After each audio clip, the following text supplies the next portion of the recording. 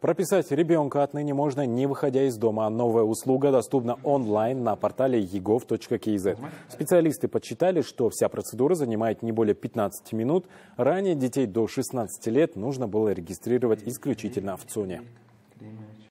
Для получения услуги необходимо нажать на кнопку «Заказать услугу онлайн» э, и э, заполнить данные, то есть э, ИИН ребенка, цель прибытия, причины регистрации, а также является ли заявитель собственником недвижимости, либо не, либо не собственник. На сегодня 454 услуги из, 4, из 741 доступны онлайн. Так, удаленно можно получить справки псих- или туб-диспансеров, выписать э, из квартиры жильцов, призраков или зарегистрировать автомобиль.